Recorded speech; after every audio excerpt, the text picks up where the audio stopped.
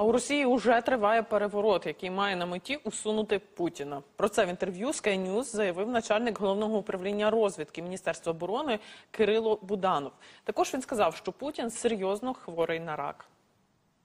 Все призведе до зміни політичного керівництва Російської Федерації. Такі процеси вже запущені і вони вже рухаються в цьому напрямі. Він знаходиться в досить негарному психоемоційному та фізіологічному стані. Він дуже сильно хворий. У нього одна о, одночасно у нього кілька значних захворювань, одне з яких це є рак. Власне, про оцю от заяву і про те, чи є ознаки перевороту Росії в Кремлі. Ми поговоримо із російським політиком Леонідом Гозманом. Пане Леонід, вітаю. Вітаю. А, Власне, розумію, що треба переходити на російську. А, вот, Это лучше. да, быстрее, я бы сказала. А вот Конечно. заявление о том, что в России назревает вот переворот, дворцовый переворот, я его так назову. А, насколько они правдивы? Это возможно? За кого вы меня принимаете? Вы думаете, я это знаю? Этого не знает никто. Поймите, пожалуйста, что это не знает никто. Если бы кто-нибудь за сутки до того, как граф Палин вошел со товарища в опочивальню Павла Первого, знал, что он это сделает, то он бы туда не вошел. Знаете, его бы туда не допустили. Такие вещи не могут быть известны заранее. Все, кто говорят, что у них есть какая-то информация, что они знают, там какие-нибудь агенты, еще что-то, полная ерунда. Этого не может знать никто. Единственное, что мы знаем, что мы, что мы видим реально, что, э, ну, то есть, что мы можем предполагать, я, например, могу предполагать, что политика Владимира Владимировича Путина последних, э, вообще последних лет, на самом деле, не говоря уже о последних двух с половиной месяцах, э, она невыгодна никому вообще. Знаете, у нас сейчас ситуация буквально как по Некрасову. Кому на Руси жить хорошо? Ответ всем хреново. Вот просто всем хреново, да? Олигархам хреново, губернаторам хреново, там, ну и так далее. Всем. Нет бенефициаров. Понимаете, у этой политики нет бенефициаров. И, э, конечно, э, российские элиты, ну, особенно та их часть, которая э, имеет головой не только ест, а еще иногда думает, да, российские элиты, конечно, находятся, ну, не могут не находиться в очень тяжелом, очень тревожном э, состоянии, да, вот. Это та самая ситуация, которая была у Павла Первого, которая была у многих, на самом деле, властителей, когда они теряли поддержку, теряли уважение э, ближайших людей. Понимаете, в чем дело? Ну вот э, Песков, например, недавно сказал, это пресс-секретарь президента э, России, кто не знает, он недавно сказал, что специальная военная операция, они запрещают все это называть войной, как вы знаете, мне грозят серьезной тюрьмой за это. Вот, значит, специальная военная операция называется по плану. Да? Я не знаю, какой был план у них, я откуда, откуда, откуда я знаю, они же его не обнародовали. Но если судить по э, тому, что несла наша пропаганда э, накануне 24-го, план был все-таки за 3-4 дня взять Киев, провести парад на Крещатике, сменить э, там у вас правительство и так далее. Очевидно, что это не получилось. Понимаете, эм, если бы Владимир Владимирович действительно все это сделал, то очень может быть, что его элиты отнеслись бы к нему, так сказать, с уважением и одобрением, да, потому что они люди в основном аморальные. Вот. А вот э, что не прощают властителю, не прощают неудач, не прощают ошибок таких, причем таких, ну, очевидных совершенно ошибок. Знаете, у нас ведь что говорили по телевизору? Ну, у нас вообще расистов много. И по телевизору шли перед э, началом всего этого дела, кошмара, м, шли абсолютно расистские высказывания об Украине и украинцах. Абсолютно расистские. Да с кем там воевать? Да они же воевать не будут. Да они оружие, которое им поставят, продадут. Да они вообще все трусы там и так далее, и так далее. Да? Вот. И, по-видимому, наш главный начальник во все это верил. По всей вероятности, он верил. Да? И вот ошибки-то ему и не прощают. А к чему это приведет? Приведет это к э, насильственной смене власти или не приведет? Этого не знает никто. Прям как по Жванецкому, помните, что оно исчезло вчера бы знать. Если вчера знать, оно вчера исчезло. Если сегодня будем это знать, то завтра этого не случится. Вот про непрощение ошибок. А Не так давно планирование вот вой- войны, военной вот этой операции в Украине э, было передано с ФСБ в ГРУ. Это о чем? Это о том, что как бы не оправдали надежды или о чем? Вы знаете, ну, во-первых, во-первых, откуда вы знаете, что было передано с ФСБ? Ну, по информации, которая есть. Понимаете, вот э, эту информацию делите на шесть. Понимаете? Потому что, насколько я понимаю нашу политическую систему, Кремль абсолютно закрытая структура. Абсолютно закрытая. И всякие сливы, которые оттуда идут, либо высосаны из пальца э, людьми, которые себя называют там, политологами, не знаю, еще кем-то, вот, либо, либо являются сливами самого Кремля. Понимаете? Вот. Поэтому я, честно вам скажу, я понятия не имею, передано, не передано. Но, но, вообще кадровая чехарда, смена, такая резкие смены э, начальников, а мы это видим у нас за, когда, позавчера, что ли, э, пять губернаторов были отправлены в отставку. Пять за один день, понимаете? Вот. вот когда такое начинается, то это, конечно, говорит о некоторой такой, ну, не обязательно панике, но крайней неуверенности э, наверху. Но, собственно говоря, поставьте себя на место Владимира Владимировича Путина или его каких-то приближенных.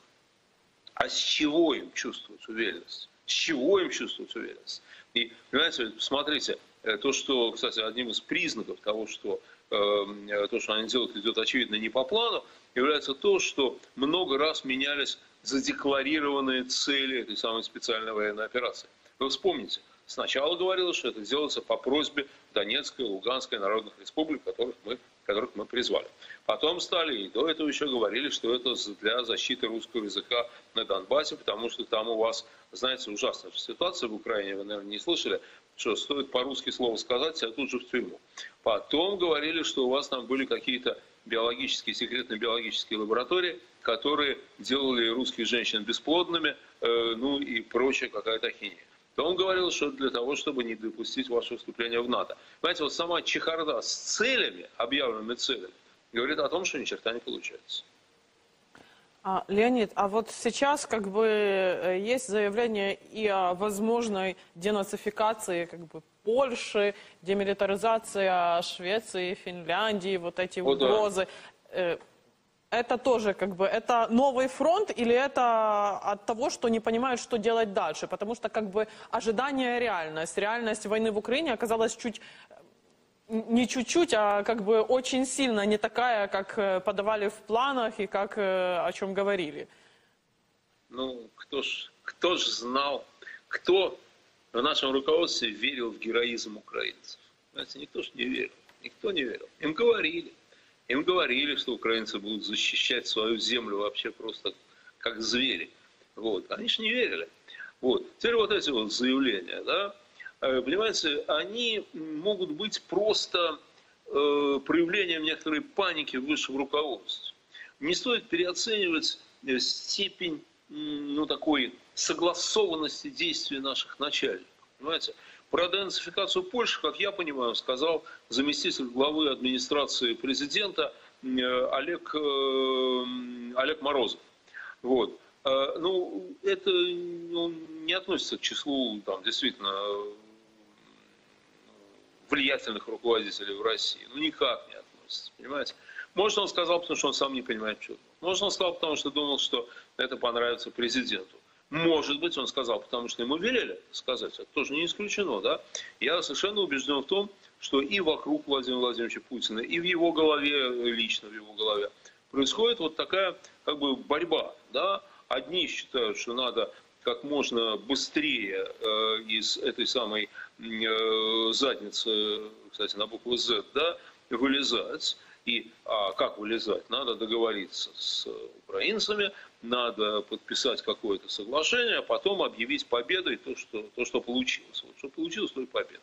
Да? Это один путь. А другой путь, ах так, ах они вообще вот такие неблагодарные, мы же их пришли освобождать там и наоборот обещать им, э, ну, дать им лучшую жизнь, они неблагодарные такие сволочи, вот, тогда давайте мы, значит, пойдем вообще во все тяжкие и пойдем вперед и на Польшу, и на Швецию, там, еще куда-то. К реальным возможностям это сделать, это не имеет, разумеется, никакого отношения. Это чисто такая вот истерика, на самом деле. На самом деле, чисто истерика. Ну, понятно, после того, как идут эм, вот, уже два с половиной месяца боевые действия на территории вашей страны, ну какая к черту Польша вообще, какая Швеция, о чем? Ребят, ребят, вы о чем говорите?